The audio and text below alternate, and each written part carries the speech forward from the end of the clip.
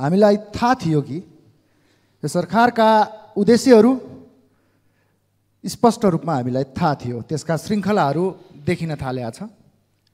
सबभन्दा पहिलो श्रृङ्खला सरकार गठन पश्चात मन्त्रीमण्डल बन्दा नै देखिया थियो।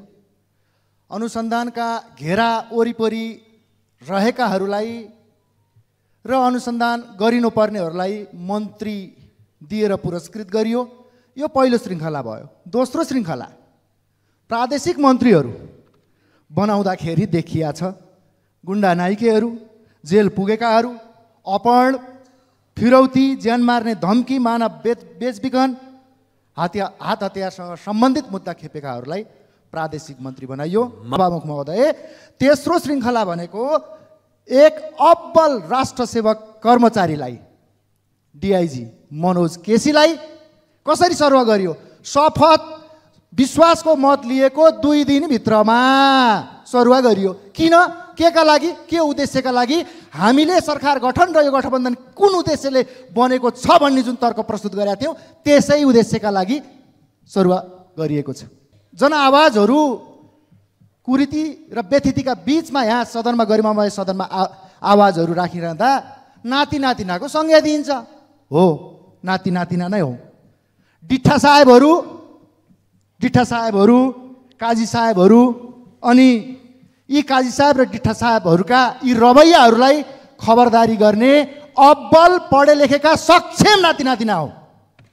सक्षम नाति नातिना हो। नाति नातिना ती नाति नातिना होइनौ जो मन परेको छोरालाई भनेको जति अपुताली धन खुवाएर ती छोराबाट जन्मिएका पुलपुल्लेका नाति नातिना चाहिँ हामी होइनौँ सम्माननीय सभामुख महोदय।